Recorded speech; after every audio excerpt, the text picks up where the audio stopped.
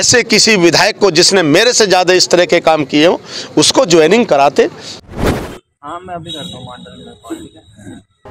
विधानसभा में भाजपा ने कांग्रेस से बीजेपी में शामिल हुए राजपाल सिंह को अपना प्रत्याशी बनाया है। वही सिटिंग विधायक देशराज कर्णवाल का भाजपा से टिकट कटने के बाद अपना दुख प्रकट करते हुए मीडिया के सामने ही रो पड़े। साथ ही देशराज कर्णवाल ने हरिद्वार सांसद रमेश पोखरियाल निशंक और मंत्री स्वामी यतीशानंद पर अपने टिकट कटने का आरोप लगाया है। वहीं देशराज कर्णवाल ने कहा कि मेरी पत्नी को टिकट का आश्वासन दिया गया, लेकिन टिकट पार्टी ने दल बदल करने वालों को दे दिया है, जो पार्टी के लिए ठीक नहीं है। ऐसे किसी विधायक को जिसने मेरे ऐसी ज़्यादा इस तरह के काम किए हो उसको ज्वाइनिंग कराते तो मुझे अच्छा लगता।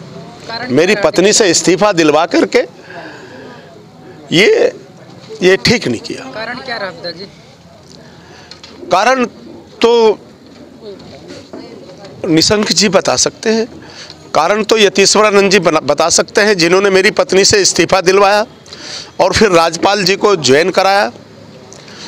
मैं बार बार कह रहा हूँ, ऐसे व्यक्ति को तो ज्वाइन कराते जिसने विधायी कार्य मेरे से ज़्यादा किए हों, जिसने डेवलपमेंट मेरे से ज़्यादा किए हो, जिसने समाज सेवा मेरे से ज़्यादा की हो, जो मेरे से बड़ा नेता हो, जो मेरे से हारा हो, जो बहुजन समाज पार्टी के हरिदास से हारा हो, उसको ज्वाइनिंग करा।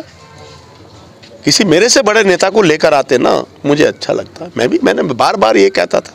आप देख रहे हैं न्यूज़ उत्तराखंड। देवभूमि की खबरों पर सबसे पहले अपडेट रहने के लिए हमारी website news Uttarakhand live dot com पर क्लिक करिए। आप हमारे साथ फेसबुक और यूट्यूब पर भी जुड़ सकते हैं। हमारे फेसबुक पेज को लाइक करिए यूट्यूब पेज को सब्सक्राइब करिए।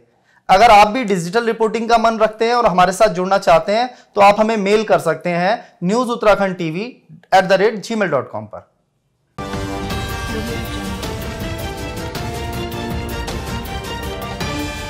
आप देख रहे हैं न्यूज़ उत्तराखंड खबरें हर पल।